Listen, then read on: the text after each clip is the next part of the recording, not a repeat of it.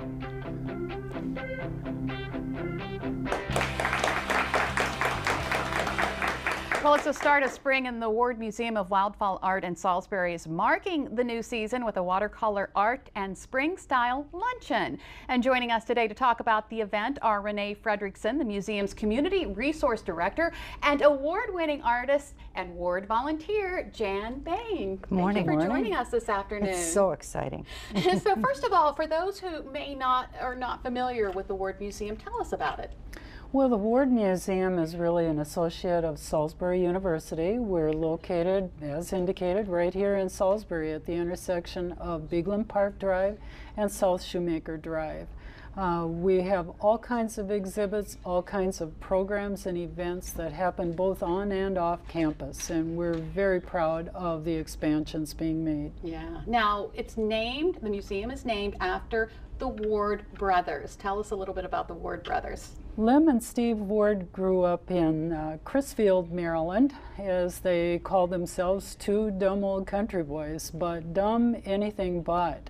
Uh, they were profound artists. They represented many, many carvers at the time across the Delmarva Peninsula.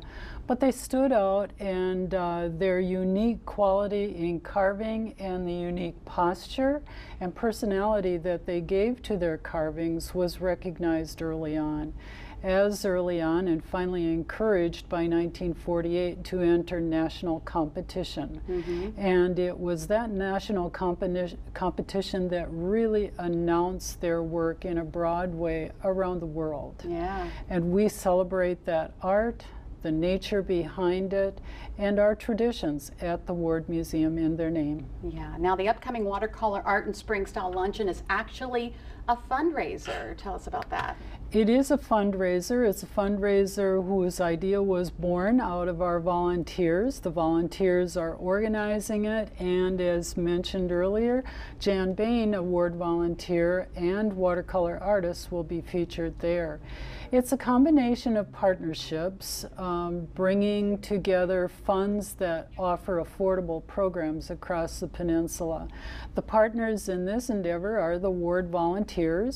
It's the uh, uh, lovely hostess here who has provided our luncheon, Peaches and Cream, Ah. and Jan Bain, our artist. Yeah, the cupcakes are from Peaches and Cream. Absolutely. And this all makes it possible so that every ticket sold directly benefits the Ward Museum.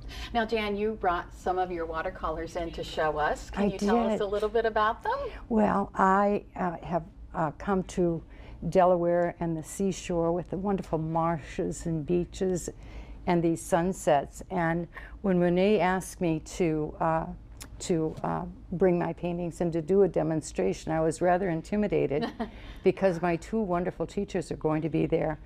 But this is trying to capture a moment, like if you're walking on the beach or being drawn in by the sunset. And, and it's meant to refresh your life and your poetry in your soul. And sometime I get it right, and sometime it's just mud. You could plant your spring garden in it, you know. Well, I think you get it all right, and it looks beautiful. And we Thank you. actually have a, a work that you did after watching our news, and you saw a news watcher photo. I did yesterday morning.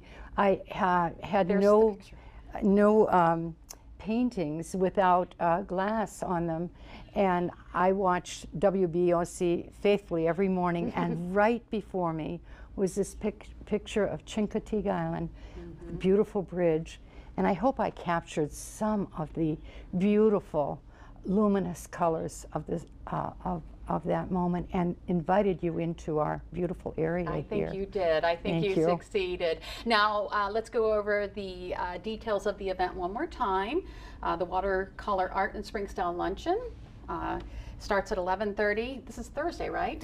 It is this Thursday, and there are a few tickets left, so we encourage people to call us at the museum or check out the site at WBOC. All right. Our number at the museum is 410 uh, 742 4988, extension 109. And of course, contacting WBOC as well. All right, thank you so much, Renee and Jan, for joining us Thank this you. afternoon. And if you would like more information on the Ward Museum of Wildfowl Art, including details of the upcoming watercolor art and spring style luncheon, go to delmarvalife.com and click on the show tab. Still ahead on Delmarva Life, we'll talk with the owner of Georgetown Health Mart Pharmacy. He'll tell us why his pharmacy is so much more than medicine and why you should stop in and check it out. Delmarva Life, life at its best here on Delmarva.